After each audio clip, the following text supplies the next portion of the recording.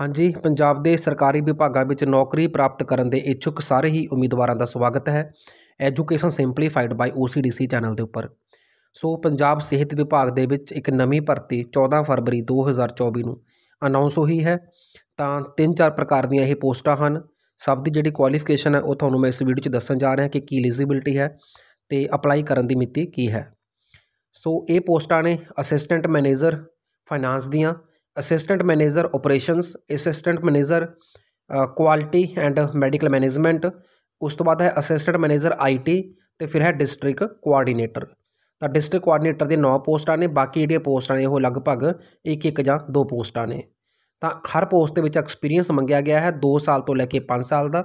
District coordinator ਦੇ ਲਈ 2 ਸਾਲ, ਬਾਕੀ ਸਾਰੀਆਂ ਪੋਸਟਾਂ ਲਈ 5 ਸਾਲ ਦਾ। 28 ਫਰਵਰੀ 2024 ਲਾਸਟ ਡੇਟ ਹੈ ਅਪਲਾਈ ਕਰਨ ਦੀ। ਤੇ ਗੱਲ ਕਰੀਏ ਆਪਾਂ ਐਲੀਜੀਬਿਲਟੀ ਦੀ, ਤਾਂ ਤੁਹਾਨੂੰ ਮੈਂ ਦੱਸਣ ਜਾ ਰਿਹਾ ਕਿ ਹਰ ਪੋਸਟ ਦੀ ਇੱਕ ਡਿਫਰੈਂਟ ਐਲੀਜੀਬਿਲਟੀ ਹੈ ਤੇ ਉਹ ਕੀ ਹੈ ਤੇ ਕੀ ਏਜ ਲਿਮਿਟ ਹੈ। ਤਾਂ ਏਜ ਜਿਹੜੀ ਮੈਕਸਿਮਮ ਹੈ, ਉਹ ਡਿਸਟ੍ਰਿਕਟ ਕੋਆਰਡੀਨੇਟਰ ਦੀ 40 ਸਾਲ ਹੈ, ਬਾਕੀ ਸਾਰਿਆਂ ਲਈ 65 ਸਾਲ ਹੈ ਮੈਕਸਿਮਮ ਸਭ ਤੋਂ ਪਹਿਲਾਂ ਆਪਾਂ ਡਿਸਟ੍ਰਿਕਟ ਕੋਆਰਡੀਨੇਟਰ ਦੀ ਹੀ ਗੱਲ ਕਰਾਂਗੇ, ਤਾਂ ਇਹ ਪੋਸਟਾਂ ਹੈਗੀਆਂ ਨੇ ਕਪੂਰਥਲਾ, ਉਸ ਤੋਂ ਬਾਅਦ ਗੁਰਦਾਸਪੁਰ, ਫਿਰੋਜ਼ਪੁਰ, ਫਰੀਦਕੋਟ, ਹੁਸ਼ਿਆਰਪੁਰ, ਪਟਿਆਲਾ, ਫਾਜ਼ਿਲਕਾ, ਮਾਨਸਾ ਅਤੇ ਮਲੇਰਕੋਟਲਾ। ਤਾਂ ਹਰ ਡਿਸਟ੍ਰਿਕਟ 'ਚ ਇੱਕ ਪੋਸਟ ਹੈ, ਤਾਂ ਟੋਟਲ 9 ਪੋਸਟਾਂ ਹੀ ਕੱਢੀਆਂ ਗਈਆਂ ਨੇ। ਠੀਕ ਹੈ ਜੀ, ਪੰਜਾਬੀ ਤੁਸੀਂ 10ਵੀਂ ਤੱਕ ਪੜ੍ਹੀ ਹੋਣੀ ਚਾਹੀਦੀ ਹੈ ਅਤੇ ਈਮੇਲ ਆਈਡੀ ਗਿਵਨ ਹੈ, ਇਸ ਦੇ ਉੱਪਰ ਹੀ ਤੁਸੀਂ ਆਪਣੀ ਐਪਲੀਕੇਸ਼ਨ ਸਬਮਿਟ ਕਰਨੀ ਹੈ ਔਨਲਾਈਨ ਓਕੇ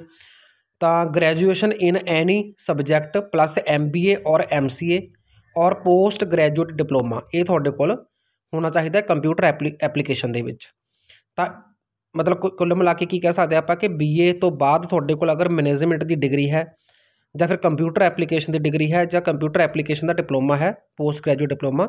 ਤਾਂ ਤੁਸੀਂ ਅਪਲਾਈ ਕਰ ਸਕਦੇ ਹੋ ਡਿਸਟ੍ਰਿਕਟ ਕੋਆਰਡੀਨੇਟਰ ਦੀ ਪੋਸਟ ਵਾਸਤੇ। ਇਸ ਪੋਸਟ ਲਈ ਜੇ ਤੁਹਾਡੇ ਕੋਲ 2 ਸਾਲ ਦਾ ਲੋੜਿੰਦਾ ਤਜਰਬਾ ਹੈ ਤਾਂ ਤੁਹਾਡੀ 45000 ਰੁਪਏ ਸੈਲਰੀ ਹੋਵੇਗੀ। ਤਾਂ ਜੇ ਤੁਹਾਡਾ ਤਜਰਬਾ 2 ਸਾਲ ਤੋਂ ਵੱਧ ਹੈ 5 ਸਾਲ ਤੱਕ ਹੈ,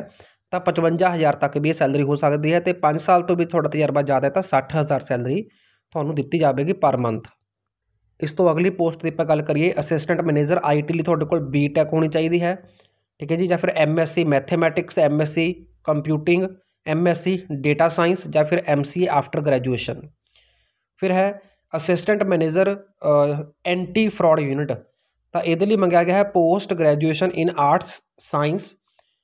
ਉਸ ਤੋਂ ਬਾਅਦ ਕਾਮਰਸ ਮਤਲਬ ਤਿੰਨਾਂ ਚ ਕਿਸੇ ਚ ਵੀ ਤੁਹਾਡੀ ਪੋਸਟ ਗ੍ਰੈਜੂਏਸ਼ਨ ਹੈ ਤਾਂ ਤੁਸੀਂ ਅਪਲਾਈ ਕਰ ਸਕਦੇ ਹੋ 90000 ਤੋਂ ਲੈ ਕੇ 1.5 ਲੱਖ ਪਰ ਮੰਥ ਸੈਲਰੀ ਹੈ ਨੈਕਸਟ ਜਿਹੜੀ ਪੋਸਟ ਹੈ ਉਹ ਹੈ ਅਸਿਸਟੈਂਟ ਮੈਨੇਜਰ ਫਾਈਨਾਂਸ ਦੀ ਤਾਂ ਇਹਦੇ ਲਈ ਬੀਕਾਮ ਜਾਂ ਐਮਕਾਮ ਦੀ ਡਿਗਰੀ ਤੁਹਾਡੇ ਕੋਲ ਹੋਣੀ ਚਾਹੀਦੀ ਹੈ and